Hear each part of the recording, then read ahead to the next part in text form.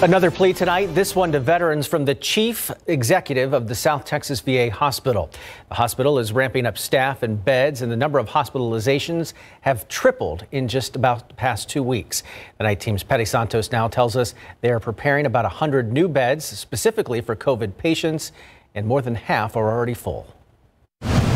Use the, the weekend wisely and please make the right decision. The chief executive of the South Texas Veterans Healthcare System says the San Antonio Hospital now has 57 patients admitted with COVID 19 and is monitoring 360 plus others that have tested positive. We have had a number of those veterans, as many as five to 10 sometimes a day. I think yesterday would be a good, great example, who were previously seen in the ER, were discharged, sent home for self monitoring and if those symptoms continue to worsen, they've had to come back. The hospital renovated the fifth, sixth, and now the seventh floor to prepare for an expected surge in the coming weeks.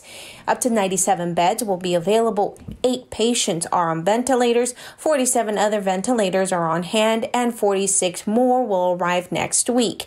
Staff from other hospitals have also been dispatched. Confirmed uh, that are coming into detail, we're somewhere around 18 uh, but uh, we've asked for uh, double to triple that number uh, as we continue to look at some of the surge projections uh, that are taking us through early August. He expects all beds will likely be full in two weeks.